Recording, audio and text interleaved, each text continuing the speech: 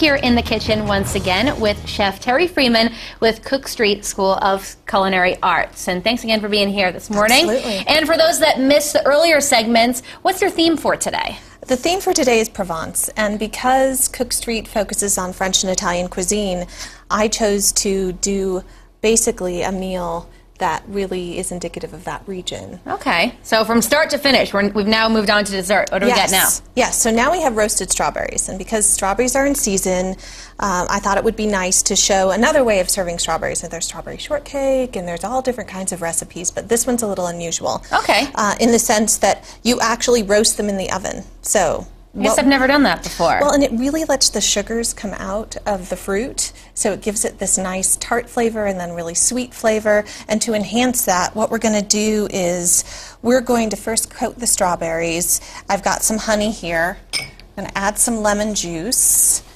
some lemon zest. Okay. It's not coming out so well. so you're going to mix all this together Yep, to and some thyme, fresh thyme, and some vanilla bean. And so what we'll do is mix this all together and then add a little butter. And this is something that if you wanted to prepare this ahead of time, if people are thinking it's Sunday and they're having Mm-hmm. company over, you can do this part maybe ahead of time. Absolutely. And we're just going to toss our berries in here really quickly. And then we'll go ahead and put them in a roasting pan. And you just want to roast them at 350 for about 30 minutes. And cook them whole like that. You don't need to cut them up smaller. No, because when you cut them up smaller, they'll shrivel and shrink, and so you really want to keep them whole. Place them on this baking sheet here with the residual um, liquid that we've got. Okay. And then as they roast and those juices come out of the fruit, um, basically you'll take them out of the oven after 30 minutes, and we'll just dot it with a little butter. Um, and then you can take that sauce and you can put it in the pan and reduce it down even more.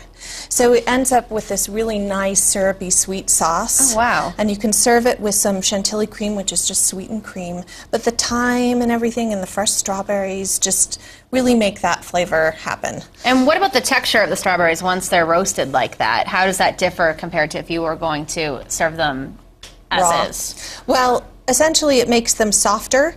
It's they're, but they're not mushy. Yeah. So only roasting them for 30 minutes is all that's necessary. Got it. So it has this really nice texture to it, and a little something different. Yeah, absolutely. A nice way to complement what we had earlier. And for Mm-hmm. people that miss those recipes, they're online. Absolutely. We also have a Provence class coming up next week. Mm-hmm. So Provence is also about seafood, and right now there's a lot of fresh things coming out. You've got peas, you've got morels, you've got all these wonderful spring vegetables.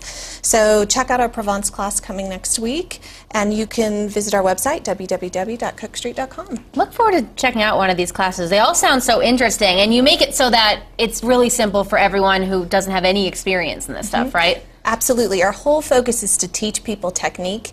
And it's not about, like when we did the lamb earlier, you know, we seared the lamb in the pan, but I also talked about how you can grill them. Those are the kinds of things that we talk about in our classes. So, more than one way to do things, mm-hmm. more than one technique, make it easy for people so it's not so intimidating. Okay. All right, thanks so much for being here. Check out those recipes on the denverchannel.com, and we'll be right back after this.